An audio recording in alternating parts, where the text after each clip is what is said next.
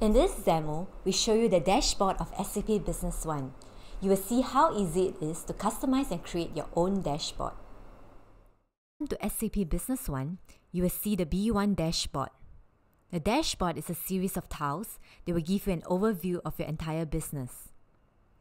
These tiles are either widgets, small predefined BI reports on a specific topic, or they're process tiles that will show you an end-to-end process in sales, purchasing, or finance specific to your organization.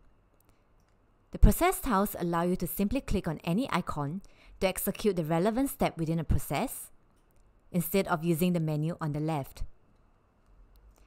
You can customize the dashboard in any way you like by simply clicking on the Edit button.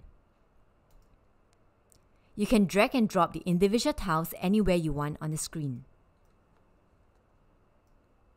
You can also add or delete widgets.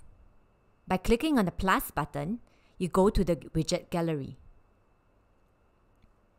Here, you can see a huge selection of predefined widgets that you can simply add to your dashboard.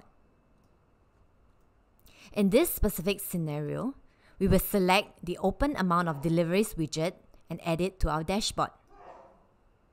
By selecting the widget, we click on the Add button to add the widget. As we now scroll down on our dashboard, we can see the new widget in our dashboard. We can also drag and drop this tile anywhere we like on our individual dashboard. Once this is done, this new widget is now visible in our dashboard and will be updated in real time according to the data in our ERP system. If I realize that I don't need this widget in my dashboard anymore, I can just click on the Edit button, select the widget, and drag it to the trash bin to delete it from my dashboard. That's the SAP Business One dashboard functionality.